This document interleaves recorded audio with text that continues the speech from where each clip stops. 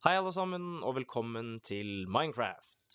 Mitt navn er Nitram, og dette er den første episoden av Den norske Minecraft-guiden. Den norske Minecraft-guiden er ment å være en opplæringsserie for dere som spiller Minecraft for aller første gang.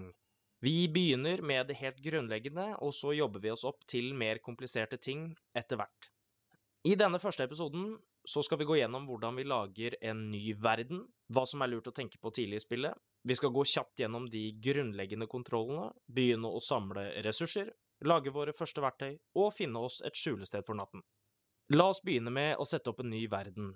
Vi spiller i singleplayer eller enkeltspillermodus, men det finnes også multiplayer eller flerspillermodus, eh, og så har du Minecraft Realms. Disse kan vi se nærmere på uh, senere. Jeg kommer forresten til å la spillet være på engelsk, men du kan endre språk til norsk om du ønsker det. Hvis du ikke har spilt tidligere, kommer du rett inn i denne menyen, og det første vi kan gjøre, er å gi verden vår et navn. La oss kalle den Den norske Minecraft-guiden. Nå kan vi se på hvilke spillmoduser som finnes, eh, og som standard har vi survival eller overlevelse. Her må man som sagt samle ressurser, kjempe mot monstre og overleve.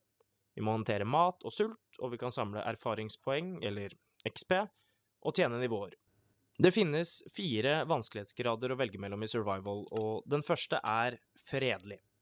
Hvis du velger fredelig, vil det ikke spåne monstre i verden din, og det er kjempefint å velge hvis det blir litt skummelt med skjeletter og zombier og creepers og den type ting. Og så har vi lett, normal og vanskelig. Den neste spillmodusen heter hardcore, og det er helt likt som vanlig survival, men du er låst til høyeste vanskelighetsgrad, og du har kun ett liv. Så hvis du dør, vil du kun respawne i kameramodus, og du kan ikke spille videre i survival. Det er game over, rett og slett. Du kan fly rundt og se på verdenen din, men du kan ikke fortsette å spille i den. Og så har vi kreativ modus, som er byggmodusen til Minecraft. Der har du tilgang på alle blokkene i spillet, ubegrensa med ressurser, og man kan fly fritt. Man trenger ikke tenke på overlevelse, rett og slett. La oss sette spillmodusen til survival, og jeg har lyst på en liten utfordring, så jeg velger vanskelig eller hard som vanskelighetsgrad, men hvis du ønsker å begynne på normal eller lett, så er det også helt greit. Så kan vi la juksekoder eller cheats stå på. Disse kan vi se nærmere på senere i serien, så ikke tenk på disse akkurat nå. Ingen datapakker, det tar vi også senere, og spillreglene kan vi også bare la være. Under flere verdensinnstillinger kan vi se at det er mulig å legge inn et seed, eller frø, for verdensgeneratoren. Denne kommer jeg til å la stå tom, eh, sånn at spillet vil generere en tilfeldig verden for meg som jeg aldri har sett før. Men hvis du vil at spillet skal generere samme verden hos deg som hos meg, så finner du siden til den norske Minecraft-guiden nede i infofeltet til denne videoen. Kopier de tallene og lim de inn i dette feltet. Ellers trenger vi ikke røre noen andre innstillinger, og kan bare trykke på Lag ny verden.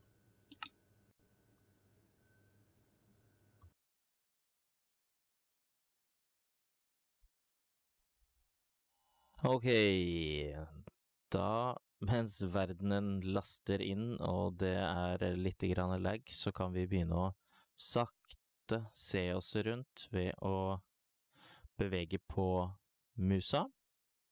Og der er vi i gang. Nå går det litt eh, raskere. Oh, en liten papegøye. ser ut som vi har spånet inn i en eh, jungel eh, når jeg ser på de trærne her. Men ja, vi ser oss rundt ved å bruke musa. Vi beveger på oss ved å bruke WAST. Hoppeknappen er mellomromstasten, og snik det er, uh, gjør du ved å holde skift inne. Når du holder snik-knappen, eller skift, inne, så kan du ikke dette ned kanten på blokker, så det er et veldig fint triks hvis du skal bygge eller er veldig høyt oppe og vil titte ned. Slipper du snikknappen, så detter du ned. Ok, eh, det første vi da skal begynne å gjøre, det er å samle litt tre, litt tømmer, som vi kan eh, bruke til å lage flere eh, ressurser. Det var et veldig høyt eiketre, men uh, vi, får bare, vi, får bare, begynne her.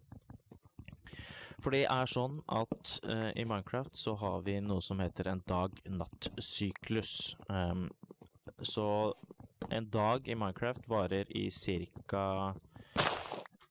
ti minutter før det blir kveld. Og så varer kvelden i ja, litt under et minutt, og så kommer natten uh, ut. Og så varer natten i åtte minutter før det blir morgen, som varer litt under et minutt. Og så er det dag igjen, sånn at i totalt så er det ca. 20 minutter, som er en full dag i et døgn i Minecraft, om du vil. Men det vi skal uh, må bekymre oss uh, for, det er det faktum at uh, om natten så kommer også monstrene ut for å prøve å spise oss, eller skyte oss, eller eksplodere oss i Sprenge oss i fillebiter. Og det er ikke noe hyggelig. Vi har mest lyst til å overleve.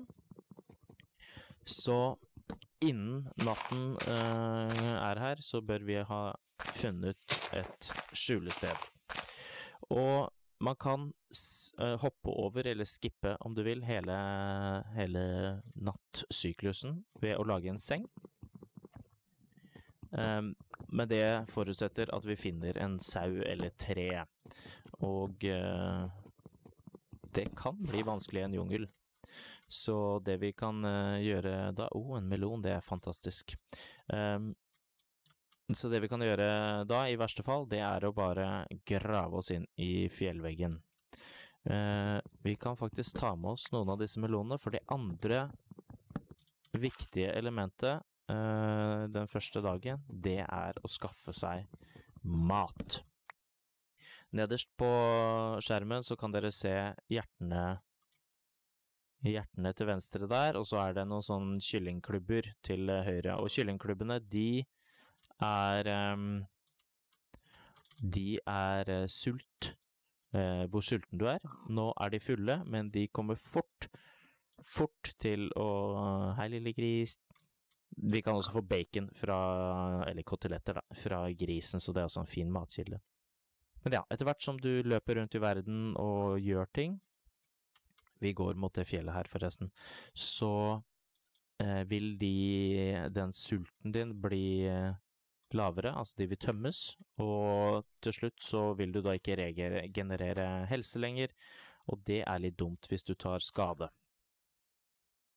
Um, her ser det ut som vi har noen huler. Det er én spesifikk ting jeg ser etter uh, nå. Um, vi trenger nemlig kull, men før den tid så kan vi egentlig bare også skaffe oss Å, en blomst. Fantastisk. Uh, litt stein. Da skal vi gå bort hit. Her kan vi begynne. Det er veldig fint. Nå ser vi at sola står midt på himmelen, og den vil begynne sakte, men sikkert å gå ned den veien. Ja. Ok. Det vi gjør nå, vi trykker på E på tastaturet vårt for å åpne inventaret. Og her kan vi putte på eh, litt rustning, vi kan putte noe i venstrehånda vår, eh, vanligvis et skjold, og vi skal også crafte. Og hvis du ikke kan noen oppskrifter på ting i Minecraft, så har du en oppskriftsbok her sånn, du kan bare trykke på den, og så viser den deg hvilke oppskrifter du har. Men hvis vi plukker opp uh, eikeplankene våre, nei, eiketømmeret vårt, mener jeg, og så plasserer det i crafting-området her sånn, venstreklikk venstre klikk bare for å flytte på ting i inventaret, så får vi altså fire planker. Og vi kan bare fortsette å trykke med venstretasten på det til vi får 32 av de. Fantastisk. Da vil vi eiketømmeret ut. Hvis vi nå plukker opp eikeplankene, og så holder vi høyre museknapp inne og beveger de rundt sånn, så vi plasserer altså fire eikeplanker, så får vi et eh, crafting table. Supert. Ta det ut, og så trykker du på E for å komme ut av inventaret. For å plassere noe i verdenen, eller for å interagere med noe, så er det bare å høyreklikke. Så vi kan plassere en eh, crafting table vårt her sånn, hoppe inn i det, og da ser vi at nå har vi fått en tre ganger tre. Her har vi to ganger to. Her har vi tre ganger T. Så det kan, betyr at vi kan lage flere ting. Og for å komme ut igjen, så er det bare å trykke på E eh, eller escape. Men vi må skynde oss, vi begynner å få dårlig tid. To planker eh, over hverandre, så får vi litt pinner. To pinner over hverandre som et håndtak, og tre planker over der igjen, og vi får en hakke. Og dette er det første verktøyet vi skal lage, og vi kan egentlig bare gå løs på denne fjellveggen med en gang. Her ser det ut som en liten hule. Skal vi se om vi kanskje kan få øye på noe kull inni her. Oh, den er vi ikke helt uh, klare for. Hvis vi ikke finner noe kull, fordi uh, grunnen til at vi trenger kull, er for å lage Å, oh, der oppe er det kull, vi skal skynde oss opp dit og skaffe det. Men hvis du ikke finner kull, så kan man lage kull av eiketømmer. Spar noen ekstra tømmerstokker til nettopp det. Vi lager oss en steinhakke med en eh, eneste gang, og så lager vi oss en øks. En øks kan også fungere som et tidlig våpen, så det er veldig, veldig kjekt å ha. Mm, det var en gris der oppe, var det ikke? Skal vi se om vi kan eh, få oss en eh, kotelett eller to til middagsmat der. Ja, ja, kom med deg, grisen. Kom med deg, grisen. Hvor er han? Jeg hører han ikke lenger. Har han jeg. Der er den. Ok, la oss jakte litt gris. Um, oh, tre koteletter, det er helt perfekt. Disse kotelettene kan spises uh, rå, for det er sånn du får dem som standard. Uh, men da vil de bare fylle ut én sånn kyllingklubbe, og vil ikke mette. Det er også en faktor uh, man må tenke på det er metningsnivået til maten du spiser. Så hvis man steker det, så uh, fyller det ut mer uh, sånne kyllingklubber, og uh, det metter altså mer, så du går lengre tid før du blir sulten. skal vi se Klarer vi å komme oss opp her, da? Ja, oi, opp sann. Og kan jeg få den, takk? En annen måte å få mat på tidlig i spillet, det er å um, gå og samle frø. Uh, enkle sånne hvetefrø, og de får du ved å slå på de gresstråene som er der nede. Hvetefrø kan nemlig plantes. Dette ser faktisk ut som et perfekt gjemmested. Det er høyt oppe det er litt sånn unna es. Her skal vi slå oss ned. Så hvis du spawner inne i jungelen i samme verden, så er det bare å gå mot fjellene og så følge denne lille dalen, så finner du denne fjellhula her oppe. Helt nydelig. La oss lage oss noen fakler, og så skal jeg vise dere hva jeg mener med de frøene. To pinner, eh, eller det kan være én pinne for så vidt også, og én kull over hverandre, gir fire fakler. Og vi kan egentlig bare lage fire til, Supert. Lærer opp, så vi ikke får noe monstre her oppe. Nydelig, og så vi kan finne veien hjem. Og nå ser vi at det begynner å bli mørkt ute. Jeg skal veldig kjapt vise hvordan dere kan få frø. Hvis vi hopper ned her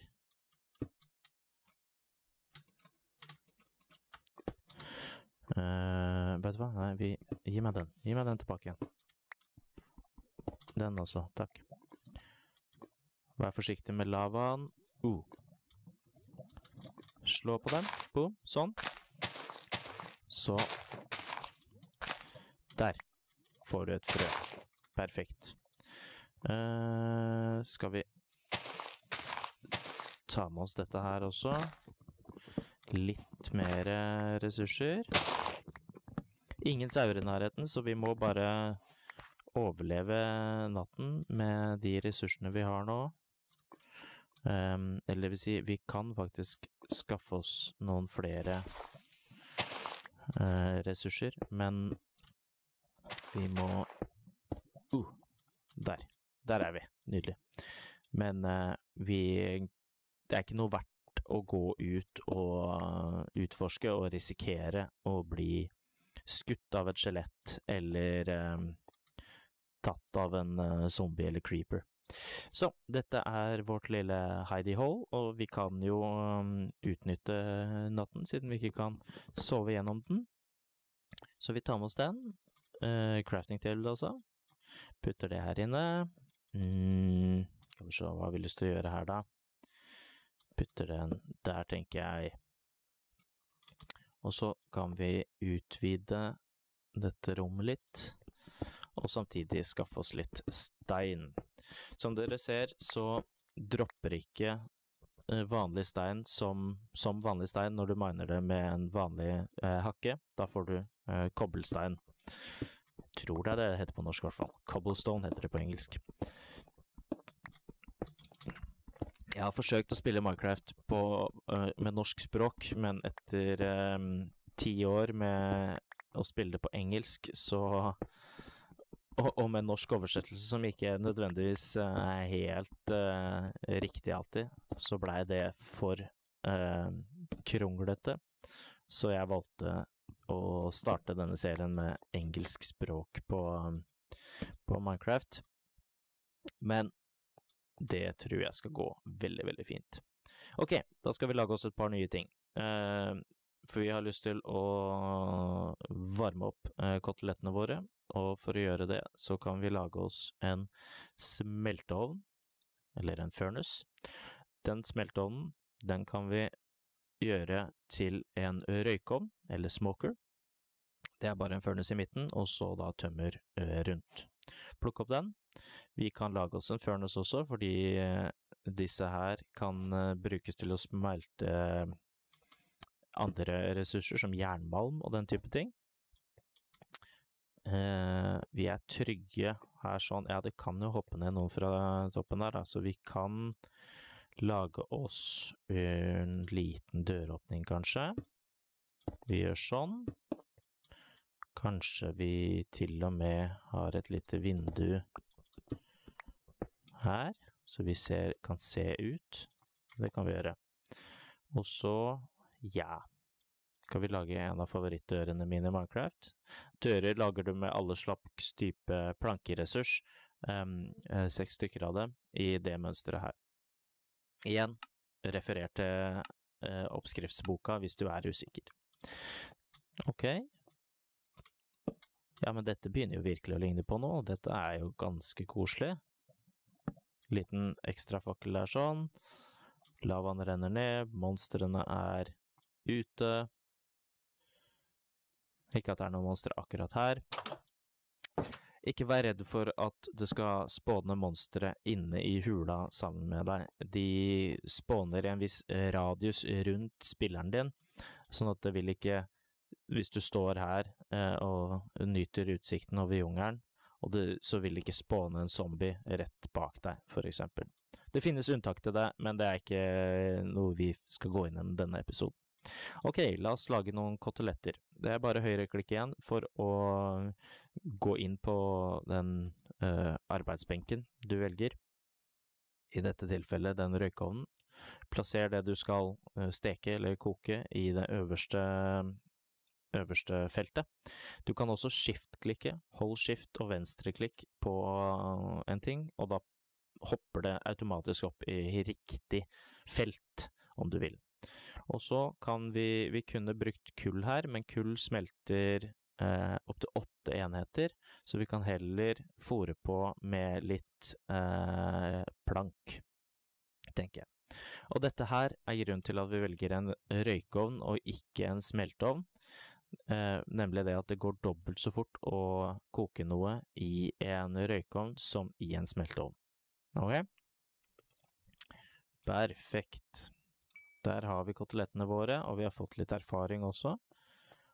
Og nå er det egentlig bare å vente ut vente ut natten. Vi har ikke så veldig mye eh, fakler, eh, men jeg kan jo vise dere hvordan dere kan skaffe mer kull. Hvis man tar tømmerstokker og legger øverst i eh, en ovn Dette må vel være en furnace, jeg tror ikke det funker Nei, det funker ikke i en røykeovn, så det må være en sånn smelteovn, altså den her. Og så steiker vi opp et par eh, sånne tømmerstokker. Ser du hvor mye lengre tid det tar? Dette er standard smeltehastigheten til en vanlig vanlig sånn smelteovn. Og da får vi altså charcoal, eller trekull som det heter på norsk, og den fungerer på akkurat samme måte som eh, vanlig kull. Det vil si at du kan lage fakler av det, du kan steike mat med det, du kan til og med steike flere tømmerstokker, eller smelte eh, tømmerstokker, brenne heter det vel, for å lage mer trekull igjen. Og da vil én eh, enhet med trekull, på samme måte som kull, være i stand til å smelte åtte enheter. Eh, det er én ting vi mangler for at dette, denne lille basen, denne lille hula vår, skal være komplett, og det er en kiste. Kiste for oppbevaring, det er superviktig å ha. Boom.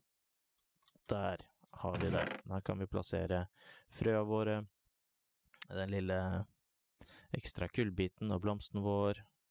Vi kan plassere inn litt ekstra tømmer. Jordblokken som vi ikke trenger, dørene som vi har til overs, og vår, vårt aller første verktøy, en trehakke. Ok, men da kan vi Nå har vi lite grann eh, ekstra kull til å lage fakler. Så da lager vi oss et par fakler til, og så går vi ut her. Nå er det snart morgen, men la oss utnytte tiden mens vi har den, til å grave lite grann etter flere ressurser. Uh, ja, vi kan bare ta den her og sånn. Stein kommer godt med, uh, alltid i starten. Det er en fantastisk fin uh, byggeblokk. Og den kan også smeltes ned til å brukes i vanlig stein, og den brukes i en del sånn oppskrifter og den type ting. Hm, jeg tror vi lager Vi kan lage en sånn inngang her sånn til en Se om vi Hvis vi graver oss inn her Det hender at det også er kull bare omringet av stein. Så vi graver oss inn, og så ser vi hva vi finner.